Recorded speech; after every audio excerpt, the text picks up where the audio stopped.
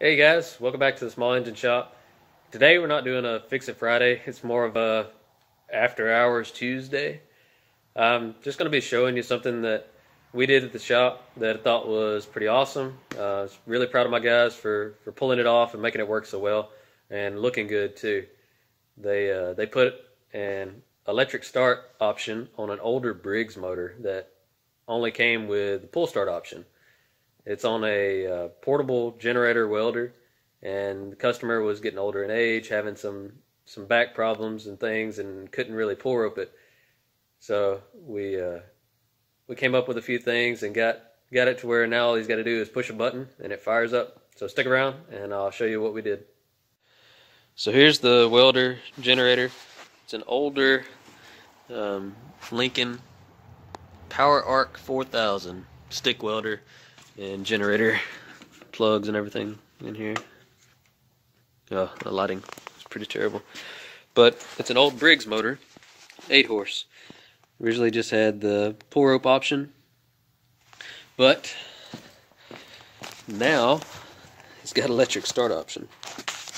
So, see if I can walk you through what we did.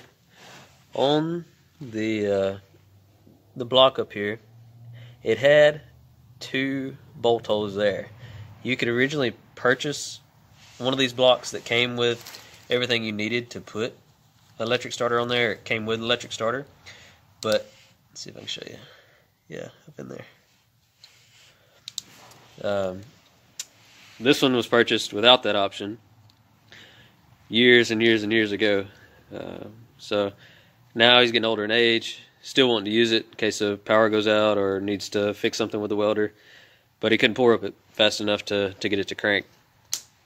So we had to put a few things on here, like regular Briggs starter. It works on their uh, single cylinder lawnmower engines and stuff like that.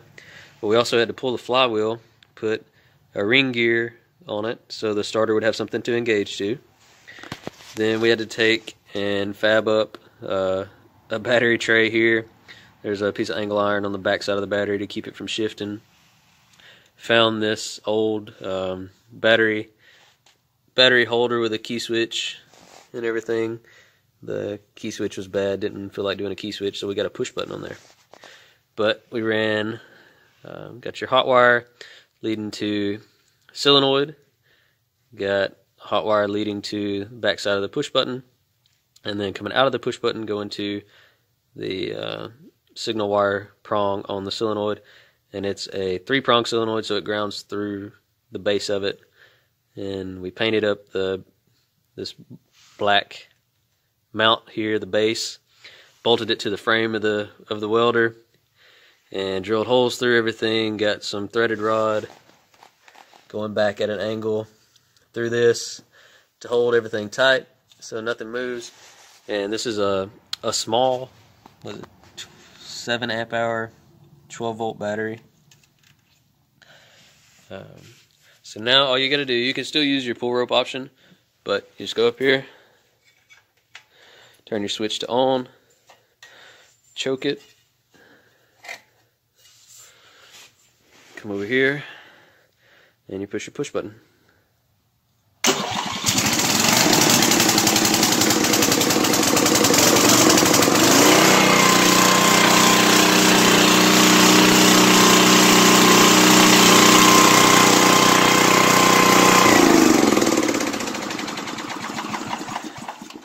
I know this thing is extremely loud.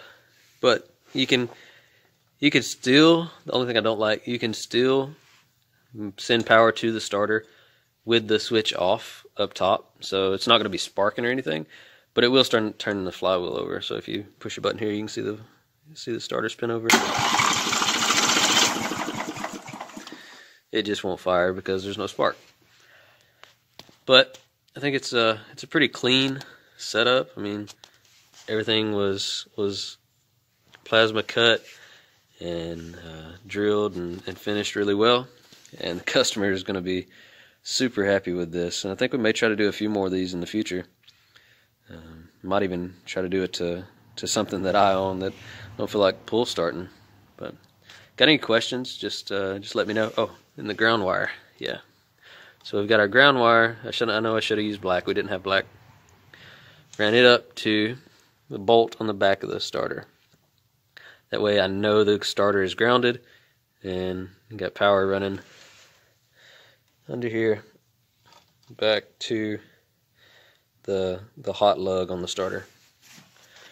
All in all, pretty pretty happy with with how it turned out, and uh, definitely definitely looking forward to a few more of these kind of setups. I like doing the the custom stuff, fab work, um, thought it was pretty neat. Wanted to share everything with with you guys.